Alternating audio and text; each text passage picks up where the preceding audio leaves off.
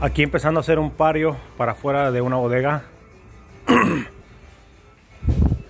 Lo bueno que aquí nos encontramos un forklift para poder subir las, las vigas. Si no sería más, nos teníamos que hacer a mano. Ah, cuando ya está el concreto armado, esta es la base que lleva. Esta es la pieza. Y ya depende de tu concreto qué tamaño sea. Ese es el, el tornillo que se le hace el agujero al concreto. Y ya entra a presión. Y ya lo aprietas. Y así queda. Para que el tubo y forro no pegue.